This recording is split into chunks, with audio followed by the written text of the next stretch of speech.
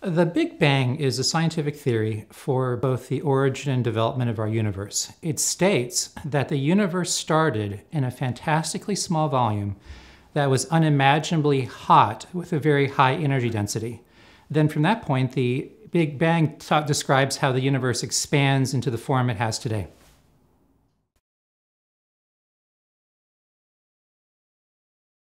When the Big Bang Theory was proposed, it demonstrated that the universe had a beginning. And many scientists were very uncomfortable with that assertion for very philosophical and theological reasons. Specifically, that suggests that there was something outside of the universe that began it, and that suggests that there was a creator, and many scientists were very uncomfortable with that idea.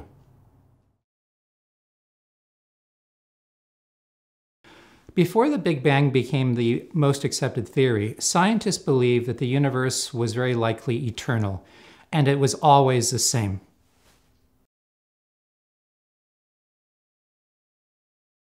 The steady state theory is a eternal theory for the universe, but what it states is that the universe is always expanding, and what happens is between the galaxies, new matter is being created and then that matter eventually turns into new galaxies. So on average, the universe looks approximately the same, although it's always expanding.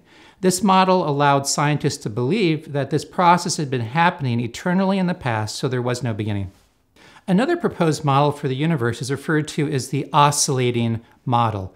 And the idea is that the universe expands, it then stops, it then contracts, and then goes back into a very small state where it bounces and starts to expand again. So the universe is essentially oscillating repeatedly for eternity, and that could have happened eternally into the past.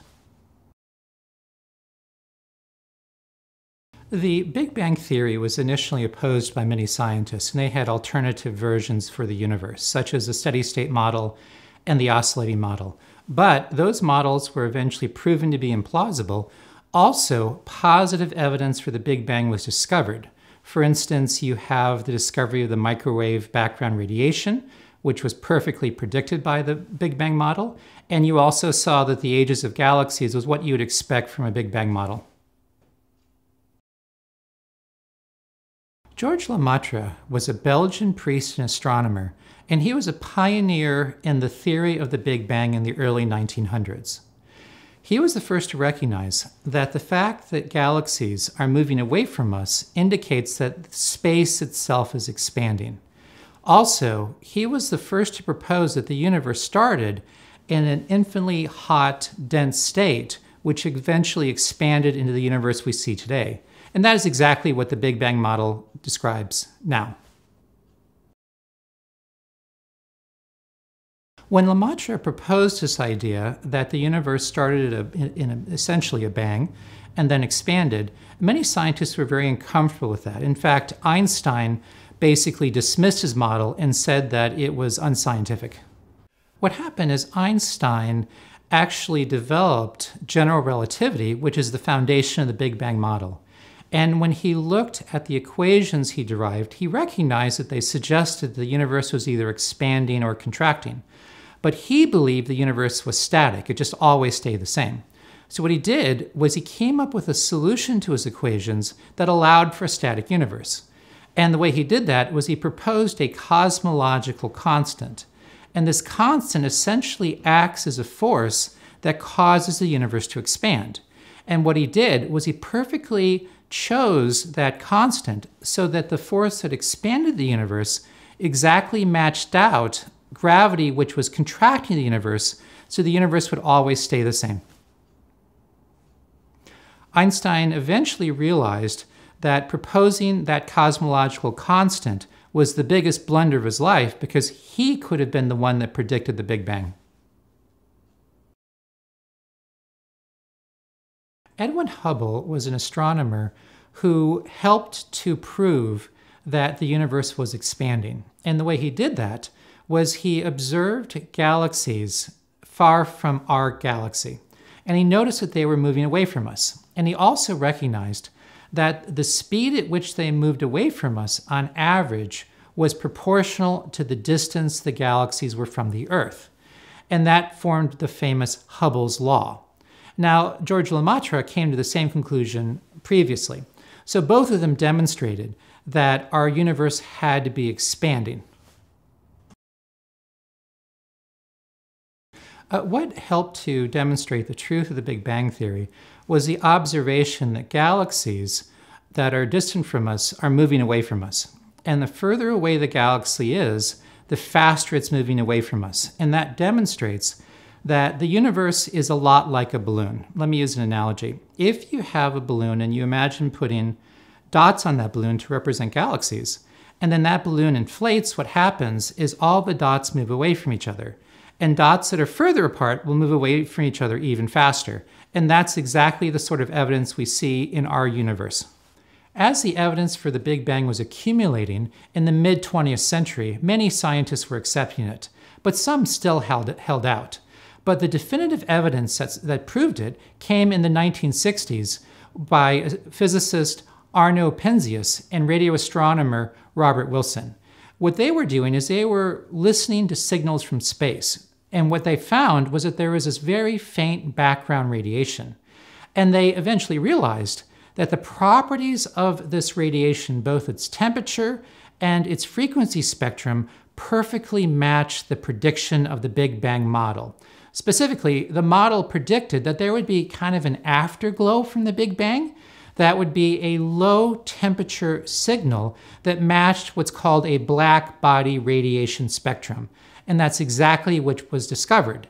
So their discovery essentially clinched the story that the Big Bang was true, and it buried and laid to waste the steady state model for the universe.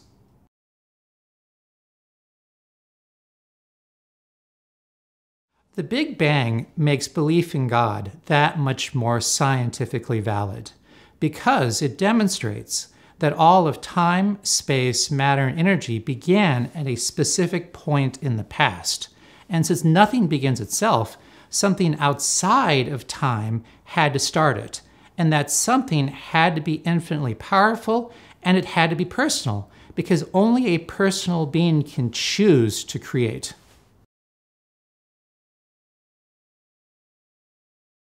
There currently are some critics of the Big Bang Theory. So, for instance, Paul Steinhardt and Anna Ijjas have proposed a new version of the oscillating universe model. Now, the old version was rejected because if a universe expands and then contracts and then bounces and expands, the entropy of the universe constantly increases. So each expansion actually takes longer. So if you go into the past, eventually it would have been an infinitely fast expansion, which also implies a beginning. The way they got around this problem is they suggested that there was some mechanism that at the bounce essentially reset the entropy to a very low value. The problem with this model is that we have never seen any mechanism even remotely similar to it. So before that model can be even considered, they have to make a strong case that such a mechanism is plausible, which they have not yet done. Another modern model that's been presented in opposition to the Big Bang model is called the eternal inflation model. And that's the idea that space is expanding very, very rapidly. It's inflating, and that has been happening internally. And what happens is different regions of space become what are called bubble universes, where they stop inflating and then they expand according to the standard Big Bang model. So our universe is simply one of those bubble universes that happened to begin, but all of space has been inflating eternally. The problem with that model is that there is a theorem presented called the Borde-Guth-Vilenkin theorem, which demonstrates that inflating universes in all models that are realistic had to have a beginning.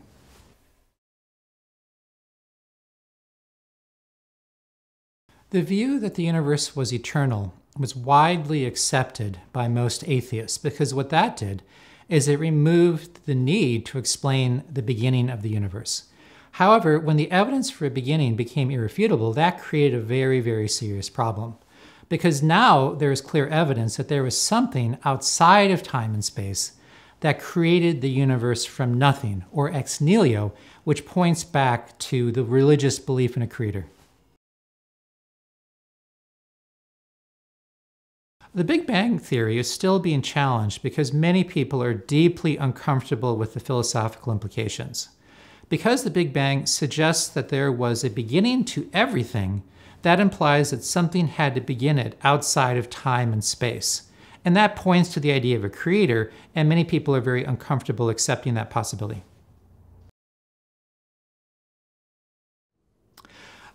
All the scientific evidence suggests that the universe did have a beginning. So, because of Einstein's equations of general relativity, they demonstrate that because the universe is expanding now, if you go back in time, it must have started at a particular point.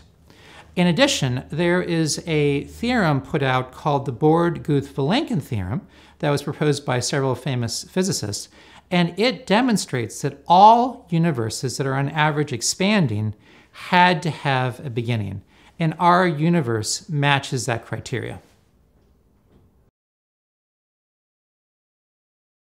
Some physicists have challenged the idea of a beginning by pointing out the fact that general relativity would not apply in the earliest stages of the universe when everything was extremely small. They also mention that at that point, quantum mechanics has to apply, so that's when you end up with what are called quantum cosmology models. This criticism actually is not valid because if you follow general relativity, it applies all the way to the point where the universe was exceedingly small, uh, less than the width of an atom.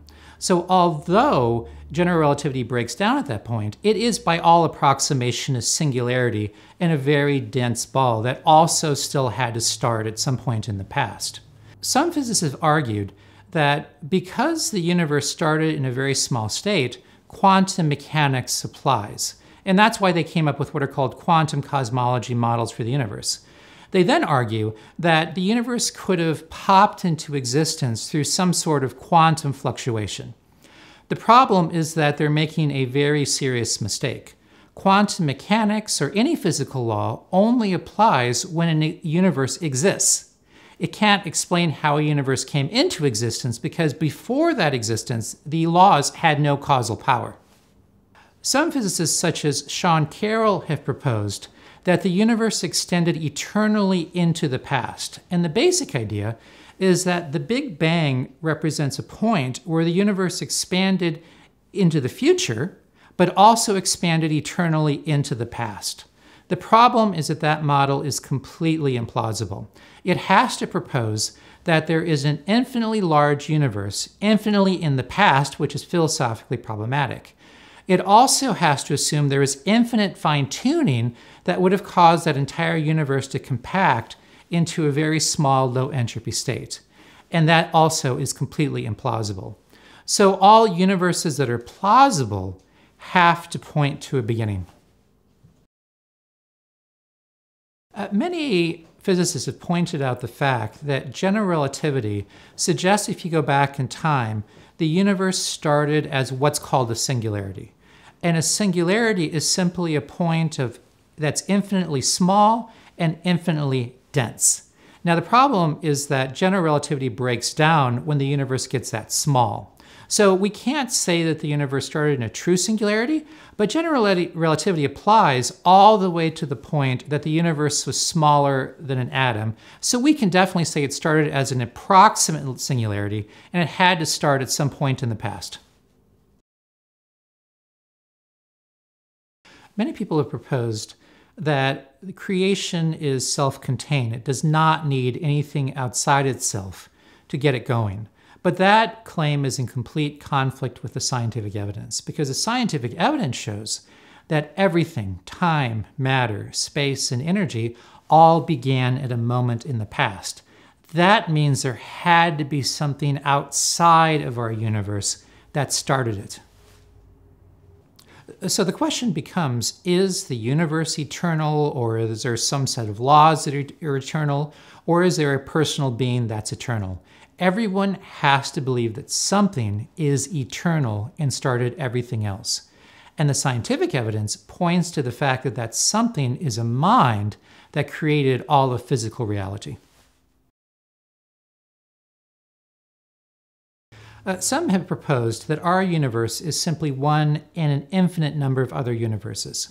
For instance, the eternal inflation model proposes that space has always been expanding. And what happens is that in that space, certain regions stop expanding and become what are called bubble universes. So our universe is simply one bubble universe that stopped expanding in this infinite space. And what happens is people believe that this could have been happening eternally. The problem is, because of what's called the Borde-Guth-Vilenkin theorem, even these expanding universe models still must have had a beginning.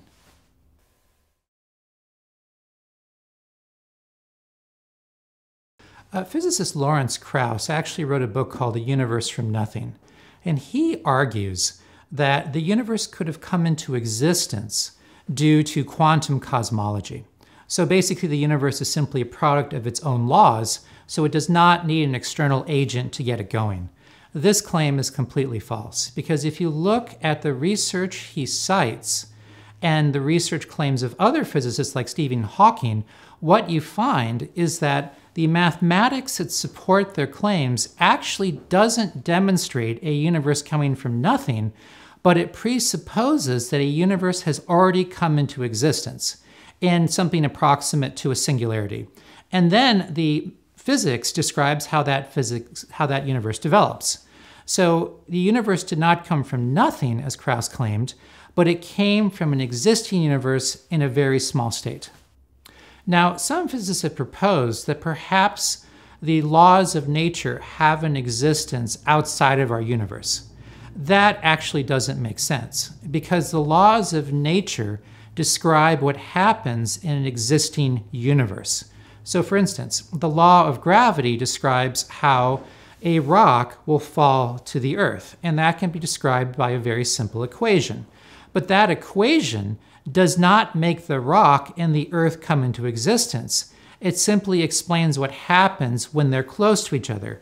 In the same way, the laws that describe the early development of the universe cannot explain how the universe came into existence. Now, some physicists have argued that the laws could have an existence separate from our physical universe. The problem is when people postulate that idea, people like Alexander Vilenkin, they eventually come to realize that the only place that laws or mathematics can exist is in a mind. So even that proposal points back to a creator. Uh, physicists such as Lawrence Krauss have proposed that you could get something from nothing, and that explains how our universe came into existence. The problem is that they're misrepresenting the actual science. Because it is the case that from quantum mechanics, you can have, let's say, a particle and an antiparticle pair pop into existence and then most often they simply uh, combine and go out of existence. The problem is the laws that describe that process work in an existing universe. So before the universe existed, the laws of quantum mechanics did not operate because they only operate with physical matter.